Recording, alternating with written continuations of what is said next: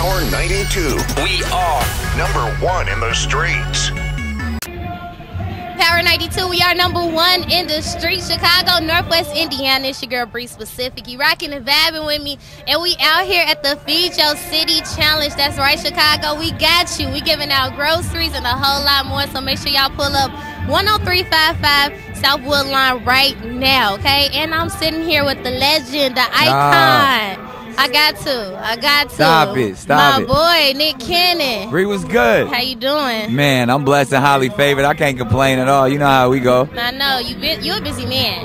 I try. I had to pull up in the city though. You know how we do. I had to really just touch down and see what the people was talking about and, and, and step up to this challenge of the Feed Your City. You know we appreciate you because you to me I feel like you like an honorary Chicagoan. You know For you real. did I've been, here since, I've been here since I was a teenager. Chi-Raq, roll bounce, roll like, bells, all, all, of that. So we might we need to give you like a, a half of a key to the city. Or Man, I like made that, my you know? first uh like Nickelodeon and album. All of that stuff was here in Chicago. That's crazy. You Yeah. real life. You are cousin. yeah, I'm, I'm a cousin You of a Chicago. cousin. You a cousin. so let me know how much does it mean for you to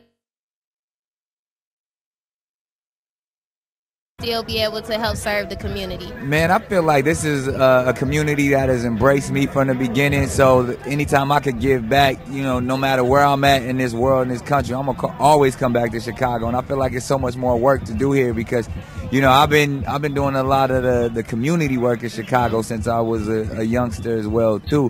And we know all of the issues and and sometimes the the challenges that can be within our community. So it's our job and our duty to step up and and take charge.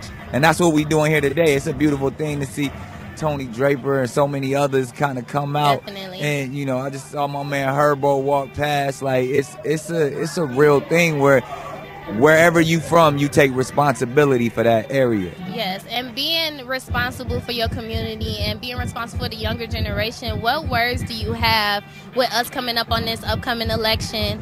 And what can you just give me a couple words for the Yeah, youth, I- the people who are like first time voters? Yeah, educate yourself. I mean, I, you know, me, I'm one of those proponents of education in a big way. So much so that sometimes my education can get me in trouble. Don't do. Don't do Because I get a little bit too deep into the truth. But I love the energy. I love the enlightenment and ev- the fact that everybody has, you know, for the lack of a better word, been awakened to to the issues at hand. And 2020 is a prominent year. It's a paradigm shift going on. So the more educated you can be on policy, the more educated you can be on the process, and not worry so much about the personality.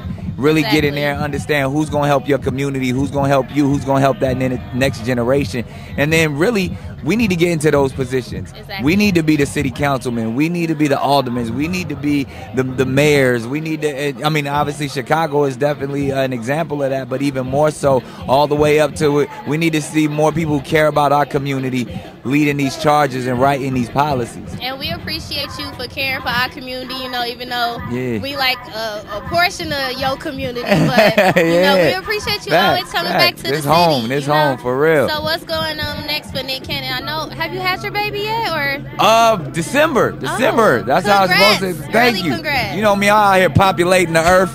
keep going. beautiful children, beautiful children. I appreciate And it. you know I'm missing my wild style. No, you know we gotta, we got, we gonna get some things going. You know what I in mean? the They can't. classroom, that's my game. We we got to keep that rocking. That's one of the things, the energy that Wild 'N Out created. Obviously, we got a lot of stars that uh, on Wild 'N Out that are even from Chicago. So you know, I can't let that go. I just got to let people know who the boss is for a second. Period. You know what I mean? Period. But Love but that's it. a brand that I created from the jump, and and it's one of those things where it ain't never gonna go nowhere. That's that's that's solid forever. So soon as soon as these uh pandemic and and quarantines things are over, I think you're gonna see a lot more of of our actions in that space as well. Okay, because I'm study watching these reruns Yeah, on yeah, YouTube. yeah. Nah, you know, it ain't the government is, is is not allowing people to do productions the way they used to. So we gonna get back to it. It's cool though. But I appreciate you coming No to chop doubt, it up no with doubt. me.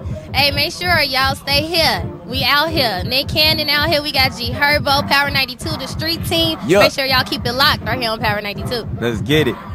Power 92, 92.3 FM.